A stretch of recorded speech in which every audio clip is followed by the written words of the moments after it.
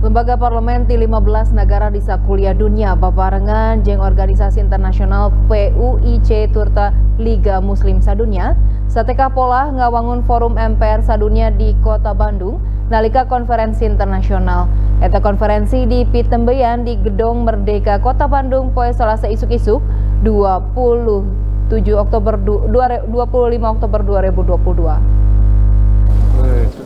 Bari di Pitembeyan ku historical walk di Hotel Savoy Homan Muruka Gedong Merdeka, delegasi parlemen di 15 negara katut organisasi internasional PUIC jeng Liga Muslim Sadunya, ilu biung dina prak-prakan mitembeyan konferensi internasional di Kota Bandung poe Salasa 25 Oktober 2022. Gubernur Jawa Barat Ridwan Kamil ngapresiasi eta konferensi turta miharap dunia bakal lebih HD ku ditaratas neta kegiatan.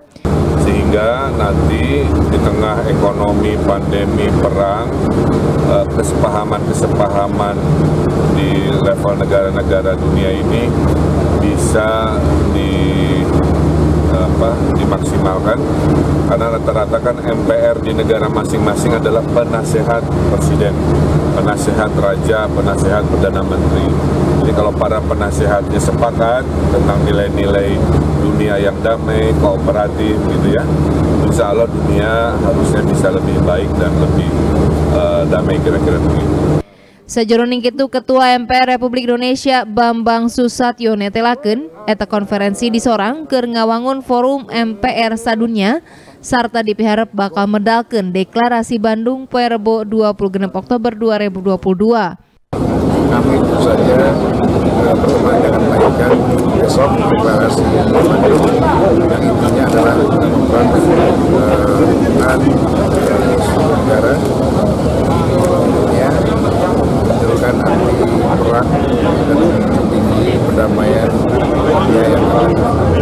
Anggota DPR Republik Indonesia Ahmad Basarah ngeceskeun eta forum lain keur ngaduplikasi forum anu geus aya, tapi keur ngarojong lembaga parlemen dunia anu kawilang khas.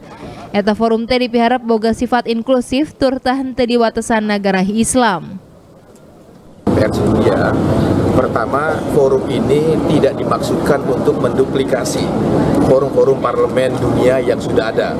Apakah itu IPU, UIC, dan lain-lain sebagainya.